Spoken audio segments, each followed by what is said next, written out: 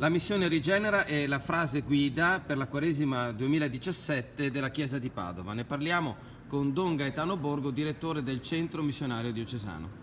Beh, è un'immagine veramente che ci conquista, eh, questo virgulto che spacca la terra, spacca l'asfalto.